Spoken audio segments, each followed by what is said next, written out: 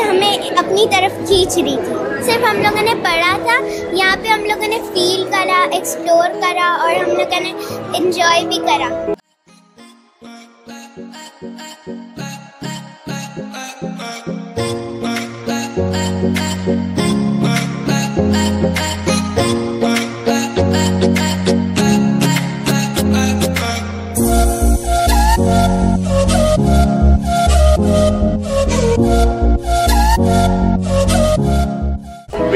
Interior object और सारी जो सारी चीज़ें दिखा रहे थे। कि ब्रेन दोनों किस चीज़ से ज्वाइन और फिर ना वेंट्स और कान में ज्वाइन है देख के मैं इसको बताऊँगा और ना एक्सप्लेन करने की कोशिश करूँगा। क्योंकि बुक्स में ना जो देखते हैं ना वो इधर ज़्यादा अच्छा है। इधर ना वो ऑब्जेक्ट है ना, वो प्रैक्टिकल कर सकते हैं हम लोग। इधर सारी प्रैक्टिकल चीज़ें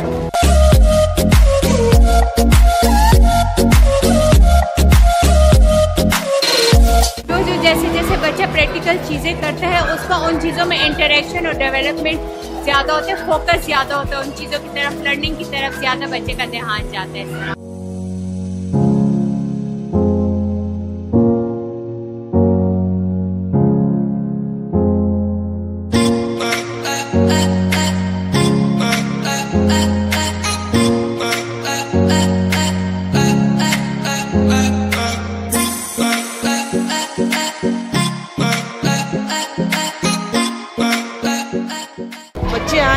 देखें बड़े आए, देखें और इन्जॉय करें। How do we make learning fun how do make it such कि आप चाहे आपकी क्या भी उम्र हो, क्या भी आपका बैकग्राउंड हो, आप उसके अंदर से कुछ सीख सकते हैं।